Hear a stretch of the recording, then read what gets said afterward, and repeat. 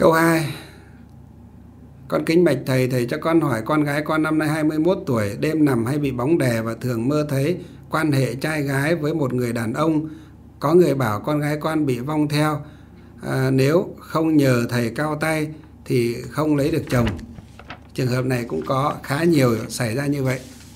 À, Phật tử này nên gì nên à, đọc kinh địa tạng, tụng kinh địa tạng và nên gì nên bảo con gái cũng tụng kinh địa tạng và nhất tâm và đến pháp hội tùng kinh địa tạng hoặc pháp hội trung phong. Những ngày nó cháu nó được nghỉ, nếu đang đi học được nghỉ thứ bảy, chủ nhật thì bảo lên chùa mà lễ. Nếu ở xa, không đến được chùa khai nguyên thì đến bất cứ chùa nào mà gì mà lễ thì cũng được.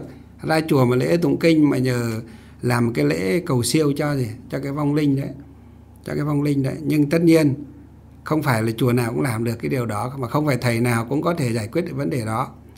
Cho nên cũng nói như vậy thì À, phật tử này cũng hiểu ý, phải hiểu ý để mà tìm thầy để mà làm sớm cho cho con nó, không có để nó như vậy nó khổ. Để càng lâu nó càng khổ. Mà cũng không nên đi xem đồng bóng bói toán là gì, nó lại bảo là gì, lại phải ra trình đồng mở phố thế này thế khác, mất tiền mà lại còn gì, còn rước họa vào thân đấy. Tốt nhất là nên nhất tâm tụng kinh địa tạng và nghe kinh, giảng kinh địa tạng, cả hai mẹ con. Và khi tụng kinh địa tạng xong thì hồi hướng cho cái vong ấy. Khuyên họ đi thậm chí là lấy cả cái lực của Phật của Bồ Tát mà gì mà bắt họ đi nữa.